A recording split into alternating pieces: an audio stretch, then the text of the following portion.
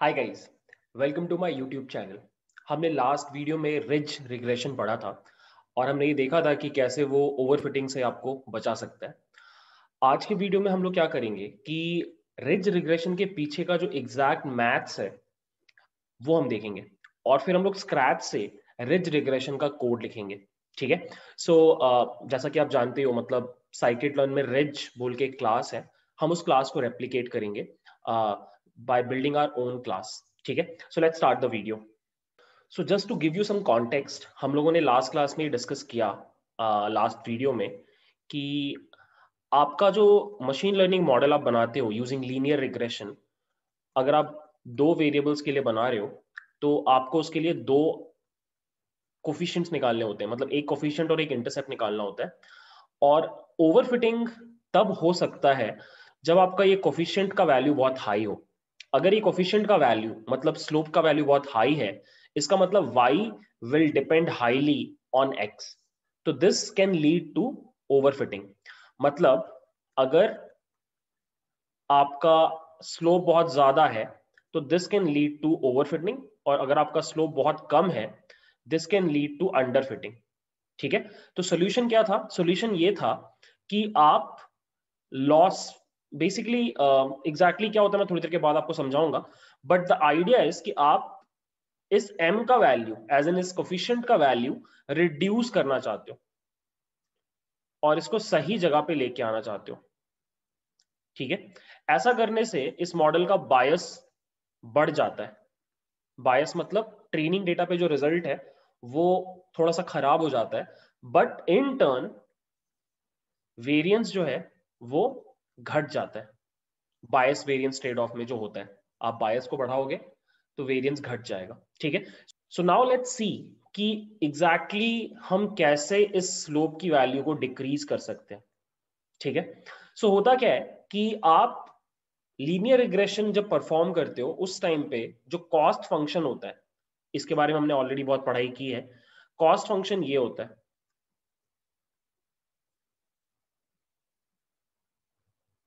this is the cost function आप इस cost function में एक टर्म ऐड कर देते हो, ठीक है? और जनरली वो टर्म क्या होता है? अगर आप 2D लीनियर रिग्रेशन कर रहे हो तो वो टर्म होता है लैमडा टाइम्स एम स्क्वायर ठीक है?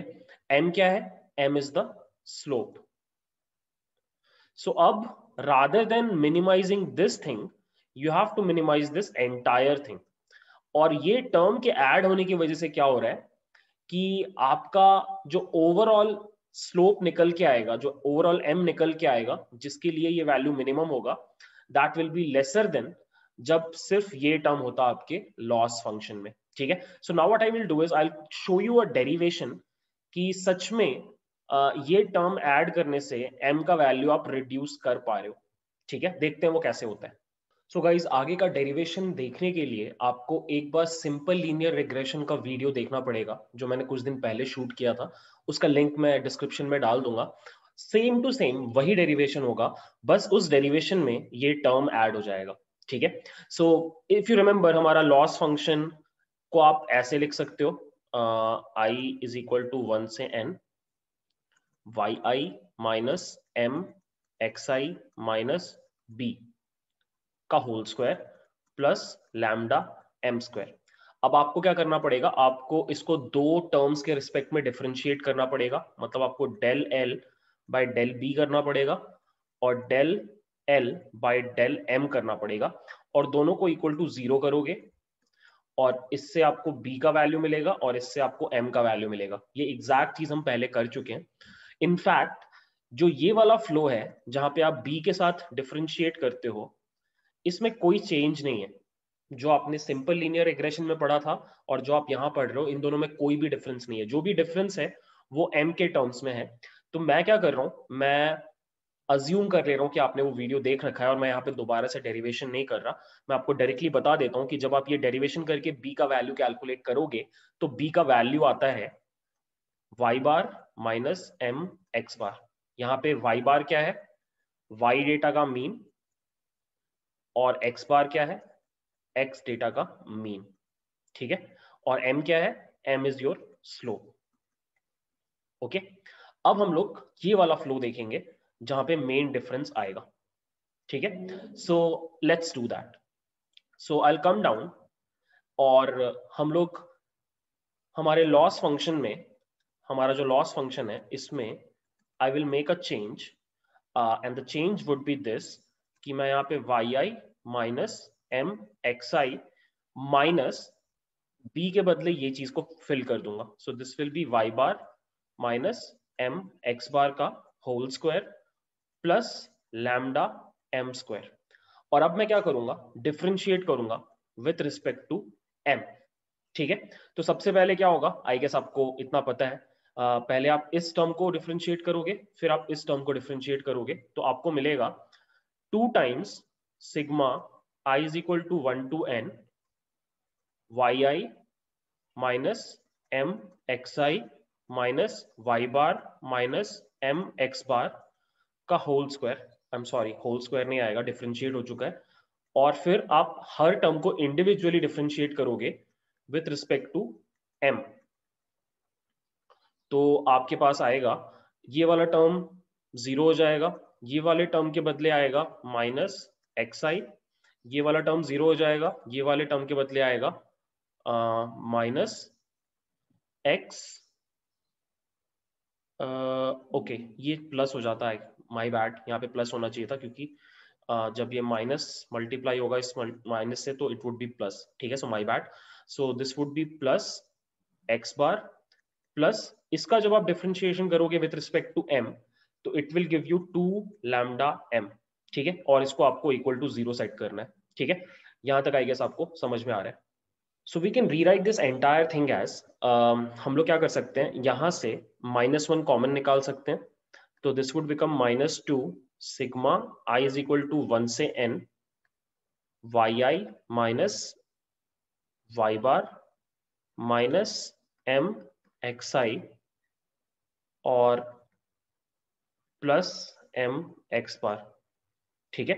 और यहाँ पे आ जाएगा x i minus x bar क्योंकि हमने यहाँ से माइनस वन कॉमन निकाल लिया plus two lambda m equal to zero अब हम इसको रीराइट कर सकते हैं by writing this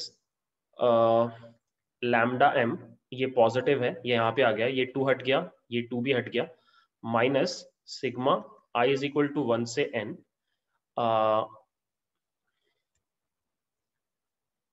y i minus y bar minus m times x i minus x bar ठीक है? और इसको हम मल्टीप्लाई कर रहे हैं x i minus x bar से and this is equal to zero ठीक है? So we are almost getting there now what we will do is कि we will expand these terms so lambda m minus sigma i is equal to 1 से N ये वाला term दोनों से multiply होगा।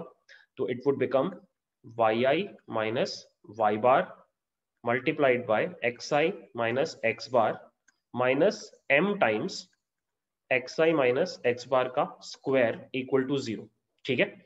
अब मैं ये माइनस से दोनों साइड मल्टीप्लाई कर रहा हूँ तो this will become lambda m minus y i minus y bar x i minus x bar plus sigma i is equal to one से n m times x i minus x bar का whole square equal to zero. अब you can see कि हमारे पास तीन में से दो terms में एम है सो so, ये जो टर्म है इसमें और इसमें एम है तो इनको मैं साथ में ले आता हूँ और इसको आ, इस साइड लेके जाता हूँ। तो this would become lambda m plus m sigma i is equal to one से n x i minus x bar का whole square equal to sigma y i minus y bar x i minus x bar अब यहाँ से हमने M common निकाल लिया तो this would become sigma i is equal to one से n y i minus y bar x i minus x bar divided by sigma i is equal to 1 से n, xi minus x bar का whole square plus lambda. सो अगर guys this is it मतलब यही हमें derive करना था, हमने derive कर लिया। एम का वैल्यू आप ऐसे निकालते हो। दिस इज़ द एम का value this is the m का वैल्यू अगर आप इसको कंपेयर करो with normal linear regression normal linear regression में भी ऑलमोस्ट सेम आंसर आया था, बस एक डिफरेंस था कि नीचे वो लैमडा नहीं था। लेट मी शो यू ये पूरा इंटरप्रिटेशन क्या बोल रहा है? ये आंसर आया था जब हमने सिंपल लीनियर रिग्रेशन किया था। ये, ठीक है? ये कोई लैमडा का टर्म नहीं था। ठीक है? बस यही डिफरेंस है। This is original linear regression और ऊपर वाला इज़ रिज रिग्रेशन ठीक है? रिज रिग्रेशन में क्या होता है? जब आप एम कैलकुलेट करते हो तो नीचे आप लैमडा से डिवाइड करते हो। मतलब जो भी चीज़ है डिनोमिनेटर में, उसमें आप लैमडा ऐड कर देते हो। अब लैमडा क्या है? Lambda is a hyper parameter जिसको आप एल्फा बोलते हो। उसी को आप एल्फा बोलते हो।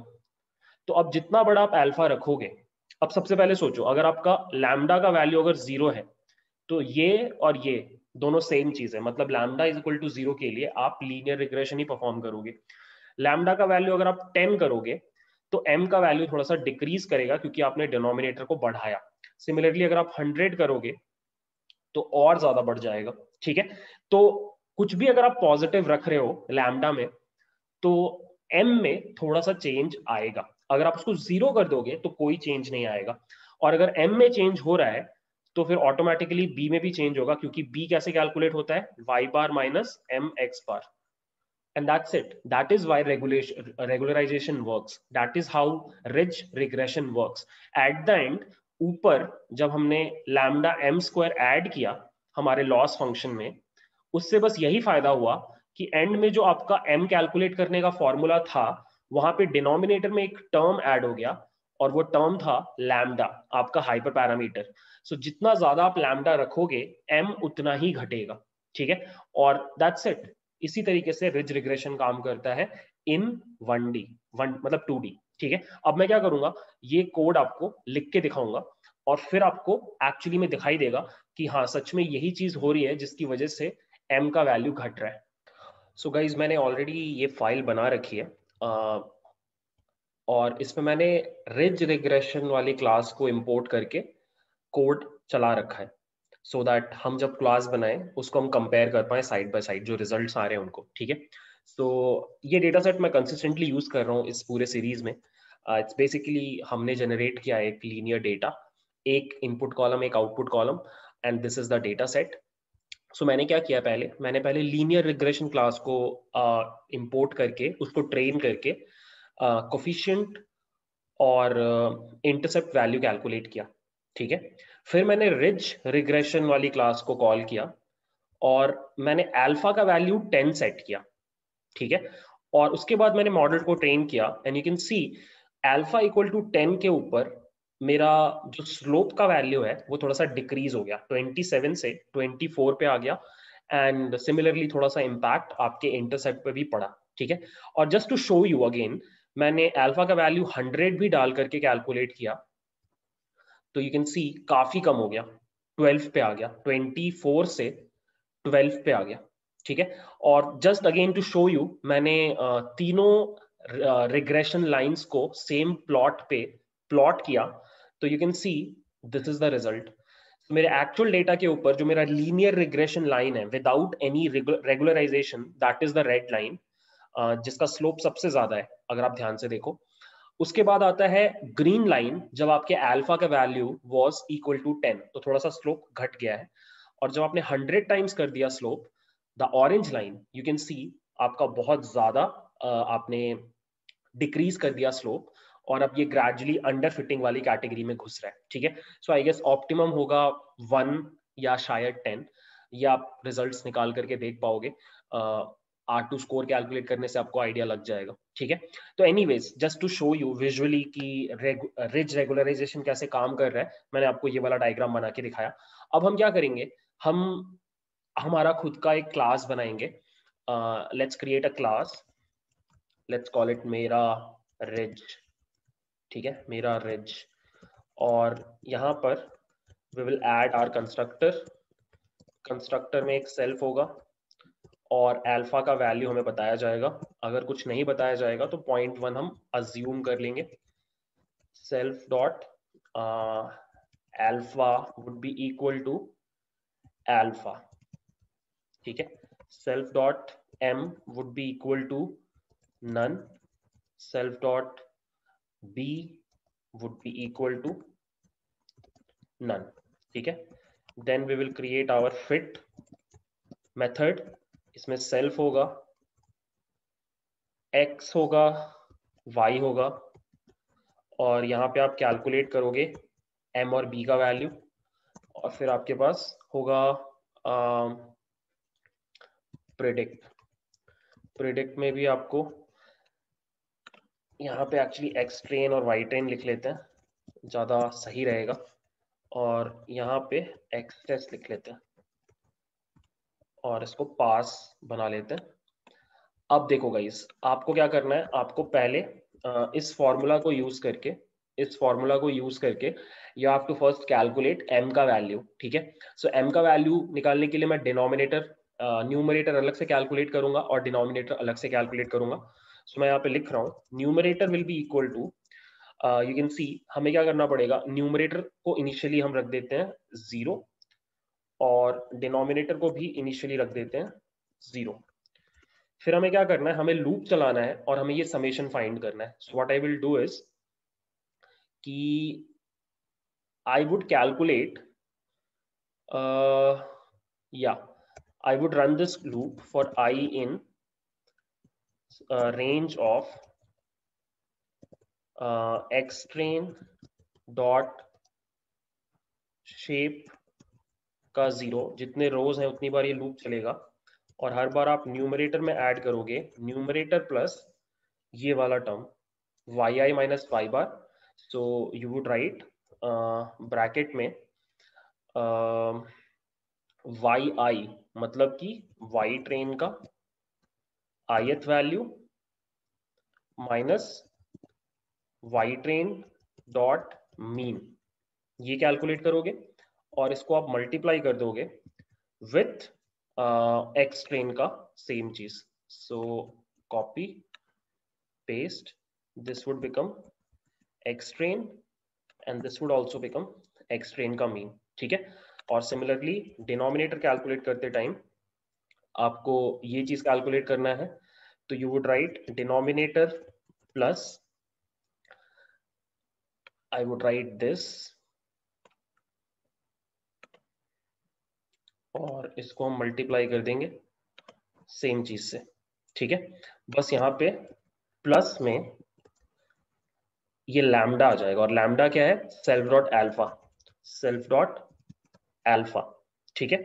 और जब ये लूप कंप्लीट हो जाएगा, मैं बाहर आऊँगा और मैं कैलकुलेट करूँगा self dot m and this will be equal to numerator divided by denominator and self dot b would be equal to y train dot mean minus self dot m times x train dot mean ठीक है? So so, इसको एक bracket में ले लेते हैं। And let's also print out self dot m का क्या वैल्यू है और सेल्फ डॉट बी का क्या वैल्यू है? ठीक है? सो दिस इज़ इट एक बार इसको रन करके देखते हैं। Uh, हमें अगर इसको रन करना हो तो हम एक रेग uh, बोल करके एक ऑब्जेक्ट बना रहे हैं। मेरा रिच क्लास का अल्फ़ा का वैल्यू अभी मैं पॉइंट अल्फ़ा का वैल्यू टेन रख लेते हैं। सो so दैट हम कंपेयर कर पाए। ऊपर हमने टेन के लिए निकाला था। सो so, टेन और अब यहाँ पे हम लिखेंगे reg dot fit and we will pass x comma y और ये तो कुछ बहुत ही अलग आ रहा है। क्या महान आदमी हो यार मैं मैंने बहुत बड़ा स्टूपिड मिस्टेक किया। हम क्या कर रहे हैं? हम डिनोमिनेटर कैलकुलेट uh, करते टाइम हर बार सेल्फ डॉट एल्फा ऐड कर रहे हैं। ऑब्वियसली आप ऐसा नहीं करोगे। आप एक बार जब पूरी तरीके से कैलकुलेट कर लोगे डिनोमिनेटर उसके बाद आप अल्फ़ा ऐड करते हो। तो बहुत बड़ा मिस्टेक ये है कि सेल्फ डॉट ऐड लूप के अंदर ना हो करके आप यहाँ पे करोगे, जब आप डिनोमिनेटर पूरा कैलकुलेट कर लोगे, उसमें आप अल्फ़ा ऐड करते हो my bad it was quite stupid run करते हैं एक बार फिर से। एंड यू कैन सी ये रहा हमारा आंसर 24.95 माइनस 2.12 अगर हम ऊपर जाएँ तो ये देखो, जब अल्फ़ा का वैल्यू 10 था 24.95 माइनस 2.12 लेट्स सी अगर हम 100 सेट करते हैं तो रिज़ल्ट ये आ रहा है कि नहीं? 12.93 minus 1.42 so what we will do is will set it to 100 और ये रहा 12.93 माइनस 1.42 so हमने एग्जैक्टली सेम क्लास बना दिया जो लीनियर ब्रिज रिग्रेशन वाले साइकिट लर्न के कोड में है ठीक है? सो so, एक बार आप ट्राई करो ये कोड खुद से लिखने का। अब हम क्या करेंगे? हम एन डायमेंशनल स्पेस के लिए एन डायमेंशनल डेटा के लिए ये सेम काम करेंगे। और ये कोड को जनरल जनरल बनाते हैं ठीक है? सो या that's it so now guys हमने one D actually two D data में रिज रिग्रेशन स्क्रैच से अप्लाई करके देख लिया। अब हम उस सेम कॉन्सेप्ट को थोड़ा सा लेकर के चलते हैं हायर डायमेंशन में जब हमारे पास एन डायमेंशनल डेटा हो ठीक है? सो so, मान लो हमारे पास ये डेटा है x one x two dot dot dot x n और y मतलब हमारे पास n इनपुट कॉलम्स है और एक आउटपुट कॉलम है। मतलब हमारे पास टोटल मिला के एन प्लस वन कॉलम्स है और मान लो हमारे पास टोटल मिला के एम रोज है। हमारे पास ये डेटा है ठीक है? अब हमें इसके ऊपर रिज रिग्रेशन अप्लाई करना है। तो कैसे अप्लाई करेंगे? सो so, आपको ऑलरेडी पता है कि एन डायमेंशन में भी आपका जो लॉस फ़ंक्शन होता है वो इसी फॉर्म में होता है। वन से लेके एम तक m is the number of rows y i minus y i hat का होल स्क्वायर अब मैंने आपको मल्टीपल लीनियर रिग्रेशन वाले वीडियो में समझाया था कि आप इसको मैट्रिक्स के फॉर्म में कैसे ला सकते हो। आप इसको मैट्रिक्स के फॉर्म में ऐसे ला सकते हो। लेट्स से थोड़ी देर के लिए हम मान लेते हैं कि uh, यहाँ पे जो वेट्स हमें कैलकुलेट करने हैं जो कोफिशियंट्स हमें कैलकुलेट करने हैं वो होंगे W one W two dot dot dot wn for every input column, you will calculate one coefficient. W बुला रहे हैं हम उसको, और एक w नॉट होगा इंटरसेप्ट टर्म सो टोटल मिला के मुझे इस प्रॉब्लम को सॉल्व करने के लिए n प्लस वन कोफिशियंट्स का वैल्यू निकालना है, ठीक है? तो आप इस प्रॉब्लम को मैट्रिक्स फॉर्म में कैसे लिख सकते हो? आप ये लिख सकते हो। आप लिख सकते हो X W minus Y transpose X W minus Y अब ये कैसे आया? इसके लिए आपको वो पिछला वीडियो देखना पड़ेगा। वहाँ पे मैंने बहुत डिटेल में समझाया है। मैं फिर से नहीं समझा रहा हूँ because it would take around ten minutes कोई पॉइंट नहीं है। आप पिछला वीडियो देख सकते हो। ठीक है? मैं बस आपको ये बता देता हूँ कि यहाँ पे वाई क्या है सबसे पहले। So y is basically this column this entire output वाला कॉलम ठीक है? सो ये बेसिकली एक मेट्रिक्स होगी, जहाँ पे हमारे सारे आउटपुट वाले कॉलम की वैल्यूज़ होंगी। टोटल मिला के कितनी वैल्यूज़ होंगी? एम वैल्यूज़ होंगी। बिकॉज़ यहाँ पे एम रोज है। ठीक है? नेक्स्ट डब्ल्यू क्या है? W is again a matrix जहाँ पे W not W one dot dot dot W N so इसका इस मेट्रिक्स का shape is N cross one ठीक है? एन क्रॉस वन रोज है इसमें। और एक्स क्या है? X is basically this matrix one one one dot dot dot one x one one x one two dot dot dot x one n x two one x two two dot dot dot x two n dot dot dot x m1 x m2 dot dot dot x mn basically आपने सारा का सारा ये values extract कर लिया ये सारी values आपने एक्सट्रैक्ट कर ली और इनके आगे वन लगा दिया ठीक है, ये सब मैंने पिछले सेशन में बताया है आपको। सो ये वो मेट्रिसेस हैं, ठीक है? ये वो मेट्रिसेस हैं। सो मतलब अगर मैं एन डायमेंशनल डेटा के साथ काम कर रहा हूँ तो मैं अपने लॉस फ़ंक्शन को इस फॉर्म में लिख सकता हूँ। I will rewrite the loss function the loss function is x W minus y ये मेट्रिक्स है, इसका transpose x W minus y ठीक है? ये हो गया नॉर्मल लीनियर रिग्रेशन के लिए। This is for normal linear regression अब मुझे इसके ऊपर अप्लाई करना है रिच रिग्रेशन मतलब मुझे इसमें एक रेगुलराइजेशन टर्म ऐड करना है। और वो रेगुलराइजेशन टर्म क्या होगा? वो रेगुलराइजेशन टर्म होता है लैमडा डब्लू स्क्वायर और यहाँ पे W क्या है? W फिर से ये मैट्रिक्स ही है, ठीक है? मतलब दिस मैं यहाँ पे लिख रहा हूँ। This term can be rewritten as lambda W naught का स्क्वायर प्लस लैमडा डब्लू वन का स्क्वायर प्लस लैमडा डब्लू टू का square dot dot dot plus lambda W n का स्क्वायर ये चीज़ और ये चीज़ सेम है, ठीक है?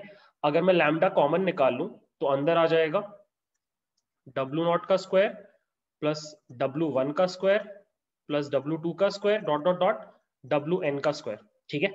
अब मैं क्या कर सकता हूँ? इस पूरी चीज़ को ऐसे लिख सकता हूँ।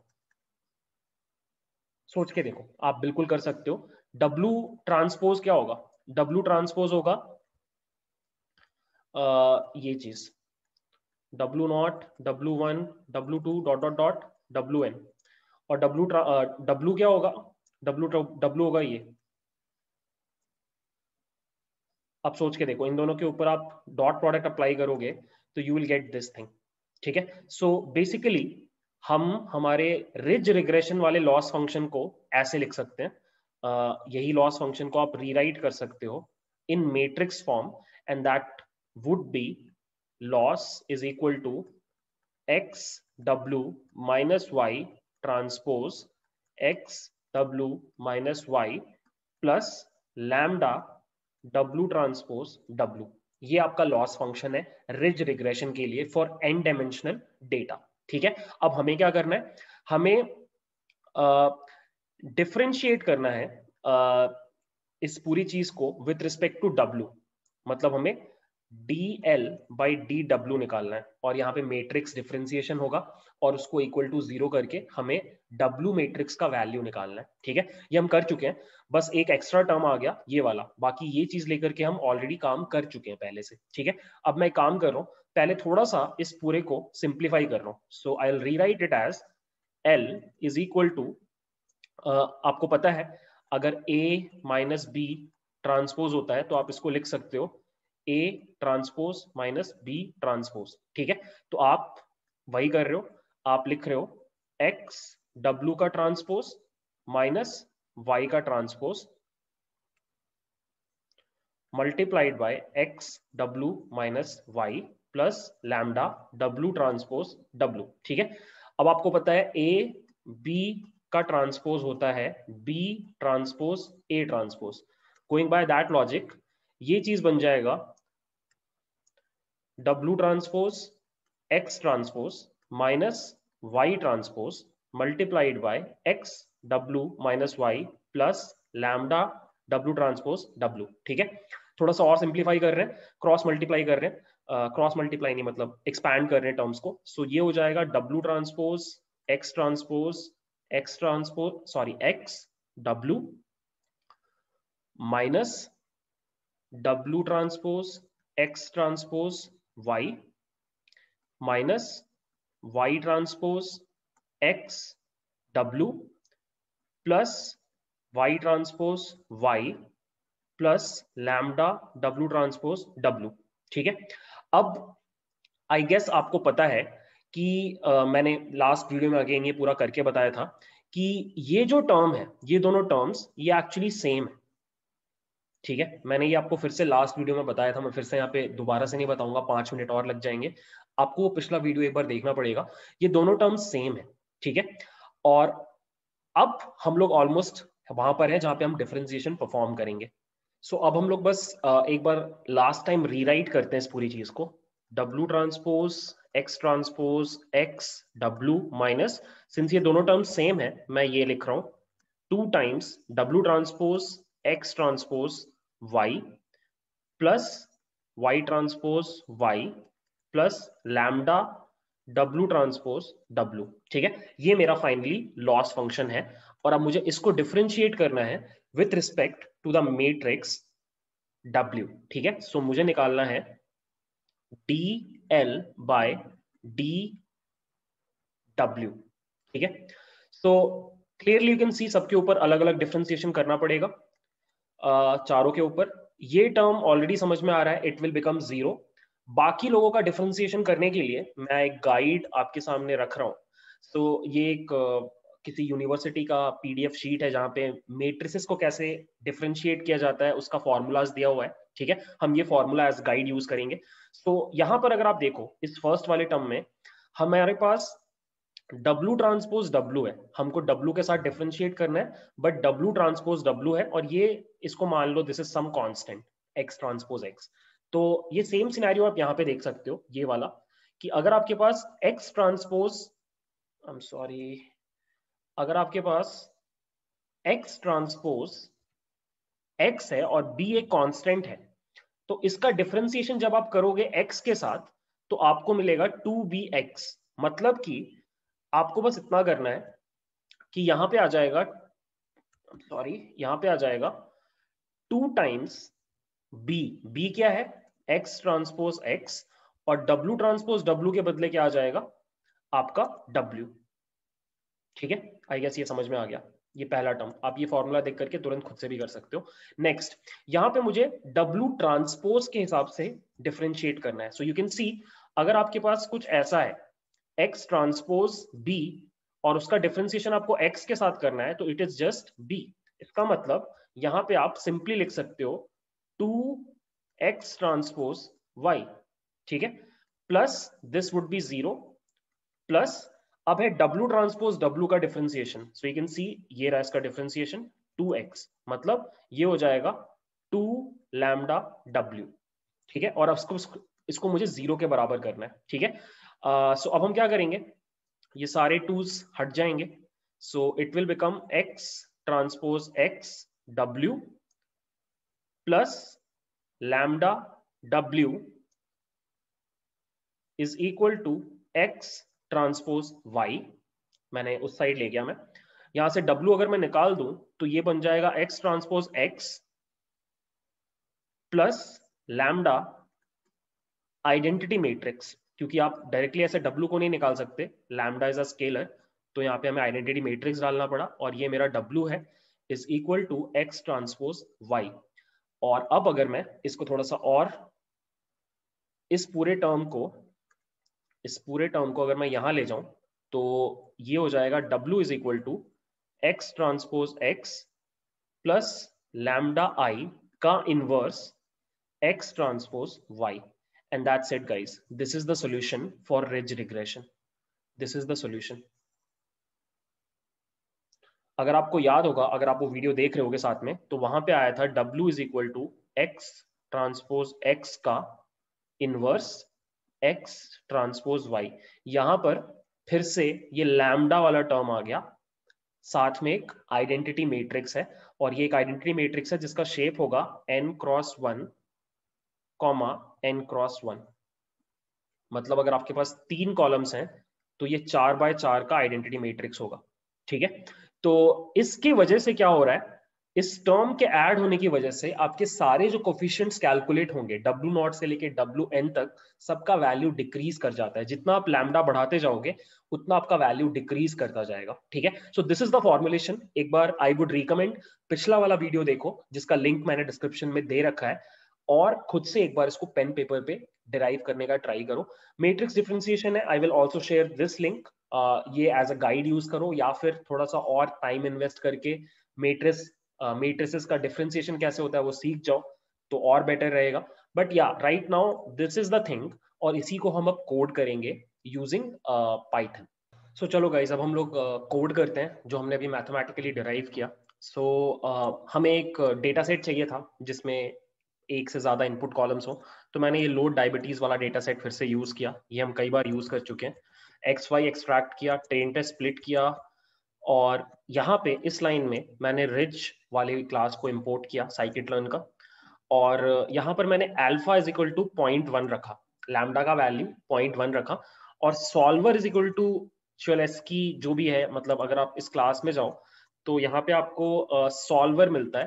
सो so, सॉल्वर में अलग अलग वैल्यूज़ हैं S V D Cholesky L S Q R sag saga so internally this class can do ordinary Lee square या फिर ग्रेडियंट डिसेंट भी अप्लाई कर सकता है। तो मैं शोलेस्की यूज़ कर रहा हूँ। जो इंटरनली वही एग्जैक्ट फ़ंक्शन यूज़ करेगा जो हम यूज़ कर रहे हैं। ठीक है? सो सॉल्वर ये सेलेक्ट कर लिया मैंने। और मैंने फिट किया अपने डेटा के ऊपर। और फिर मैंने वाइब्रेट कैलकुलेट करके जब आर टू स्कोर निकाला तो पॉइंट फोर सिक्स के अराउंड आ रहा था। ठीक है?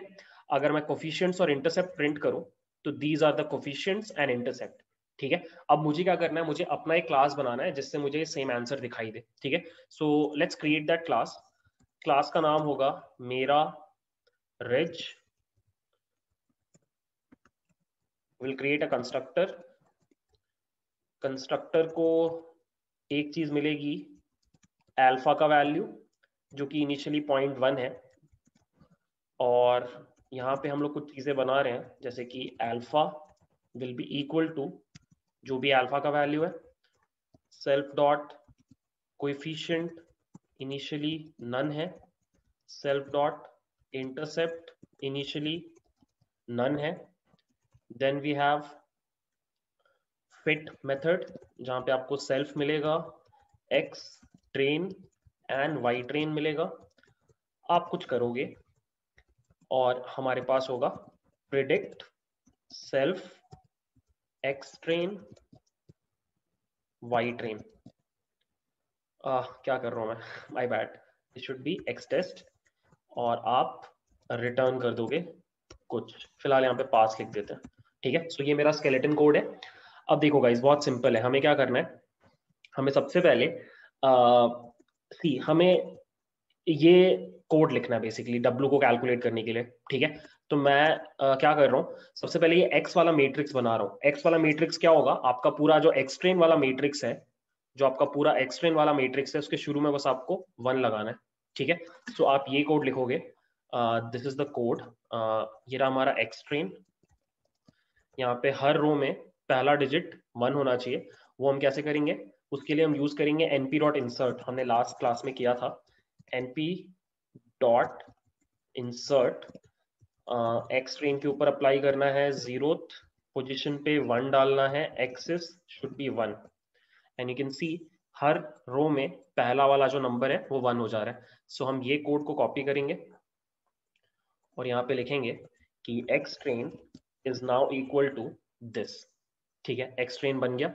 अब हमें क्या करना है? हमारे पास y ऑलरेडी है। Y इज़ y ट्रेन हमें बस ये i कैलकुलेट करना है। I मैंने आपको बताया था आई क्या होगा? I will be an identity matrix जिसका शेप क्या होगा? N cross one n cross one ठीक है? एन का एन क्या है यहाँ पे? नंबर ऑफ़ कॉलम्स तो मैं लिखूँगा I capital I is equal to NP dot dot identity identity और यहाँ पे आप पास कर दोगे एक्स ट्रेन डॉट शेप का वन नंबर ऑफ़ कॉलम्स जितने ठीक है? और अब आपको कैलकुलेट करना है result result will be equal to np dot linear algebra dot inverse और आपको इनवर्स कैलकुलेट करना है इस अंदर वाली चीज़ का। तो पहले आप आ, निकालोगे np dot x train dot transpose पहले आप ये एक्स ट्रांसपोज एक्स निकालोगे बाय राइटिंग दिस कोड फिर आप इसमें ऐड कर दोगे। Lambda i. So you would write self dot alpha multiplied by i.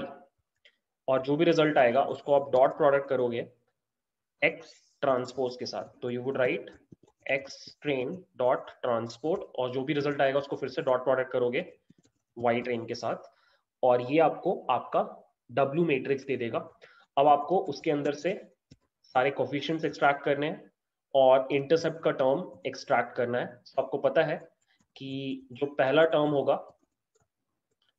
जो पहला टर्म होगा रिज़ल्ट के अंदर वही आपका इंटरसेप्ट होगा और जो आपका आ, बाकी का टर्म्स होंगे वो आपके कोएफिशिएंट्स होंगे। So you would write result में वन ऑनवर्ड्स ठीक है?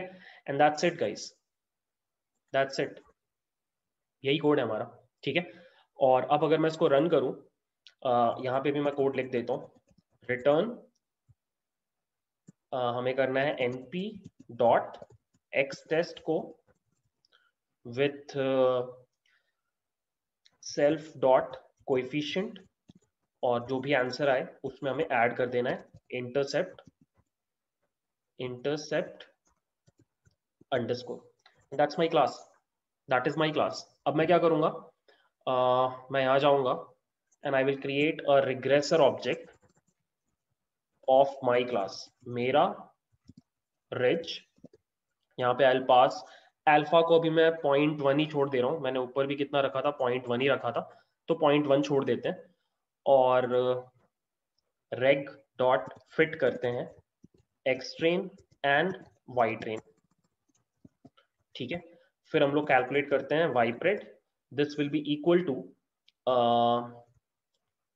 reg dot predict X test let's print the R2 score, Y test, comma, Y pred. Let's print uh, these two terms also. So तीनों चीजें साथ में print हो जाएंगी let's run this and you can see point four six आ रहा है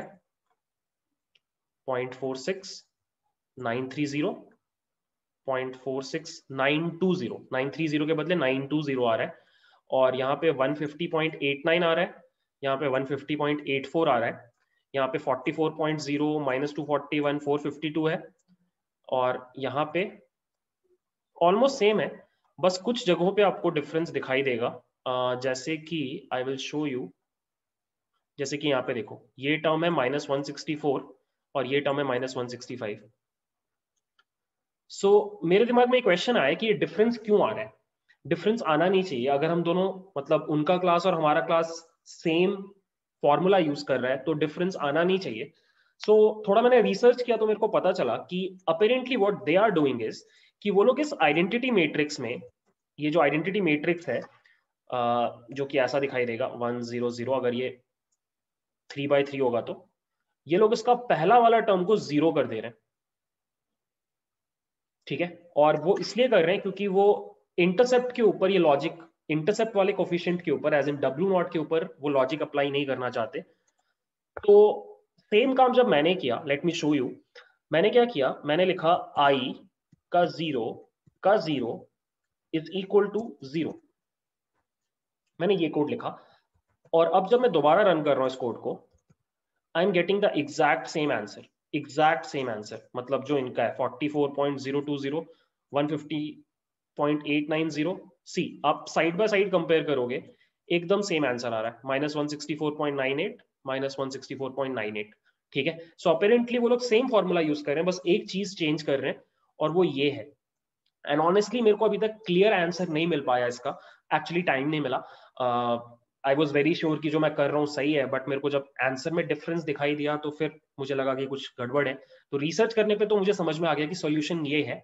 but ऐसा solution क्यों है, ये मुझे फिगर करने में थोड़ा अभी टाइम लगेगा। तो अगर आपको पता चलता है इसका रीजन क्या है तो आप कमेंट्स में लिख देना गाइस मैं आपके कमेंट को पिन कर दूँगा, ठीक है? So yeah that's it this is the code and you can just play with this code एक बार ट्राई करना खुद से लिखने का। And that's it ridge regression आप खुद से बना सकते हो। आपको ज़रूरत नहीं है। उनके क्लास की, ठीक है? स्पेशली अगर आपके पास छोटा डेटा सेट है। बड़ा डेटा सेट है तो ये वाला चीज़ प्रॉब्लम करेगा। जो प्रॉब्लम वहाँ पे था प्रॉब्लम क्या था? टाइम कॉम्प्लेक्सिटी का। बहुत बड़े डेटा सेट में टाइम कॉम्प्लेक्सिटी बहुत बढ़ जाता है। एन क्यूब के ऑर्डर का हो जाता है। तो फिर सॉल्यूशन क्या है? आप ग्रेडियंट डिसेंट अप्लाई करते हो। तो अब हम लोग नेक्स्ट वीडियो में क्या करेंगे? हम लोग ग्रेडियंट डिसेंट कैसे अप्लाई किया जाता है? रिज रिग्रेशन में वो सीखेंगे। So that's it thanks for watching bye